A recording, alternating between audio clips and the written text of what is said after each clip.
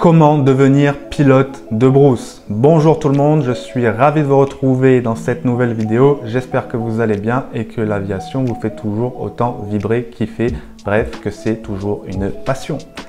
Comment devenir pilote de brousse Pilote de brousse, qu'est-ce que c'est? Ça va être par exemple voler dans des endroits reculés où il n'y a pas de route, par exemple pour acheminer de la nourriture, pour acheminer des équipements divers et variés peu importe dans quelle région. Vous pouvez être pilote de brousse en Alaska, vous pouvez être pilote de brousse en Afrique, vous pouvez être pilote de brousse dans certains pays en Asie. Bref, il n'y a pas d'endroit géographique précis, j'ai envie de dire, pour être pilote de brousse.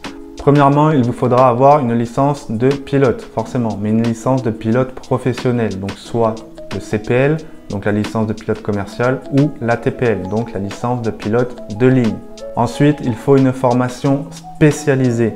Pour cela, il y a des écoles de pilotage spécialisées qui vous permettent de passer justement cette formation pilote de brousse. Vous pouvez également trouver des instructeurs qui sont spécialisés dans ce domaine-là pour vous faire passer justement toutes les qualifications et toutes les spécificités du vol de brousse. Ça va être par exemple, je ne sais pas, du vol à basse altitude ou de l'hydravion. Bref, renseignez-vous en détail. Vous trouverez tout ça sur Internet sans aucun souci, mais il vous faut une formation spécialisée pour devenir pilote de brousse. Ensuite, il vous faudra acquérir de l'expérience, comme toujours.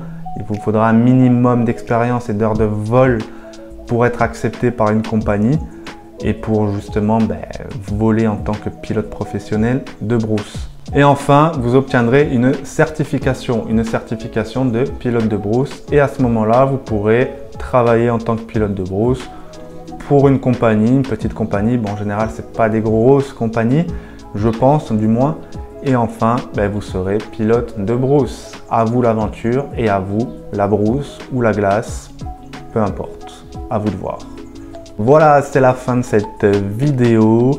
Abonnez-vous à la chaîne, surtout, c'est très important. Mettez un like, activez la cloche et vous trouverez dans la description un lien vers notre boutique en ligne pour tous les passionnés d'aviation, que vous soyez pilote ou non. Vous trouverez forcément un produit qui vous fera plaisir.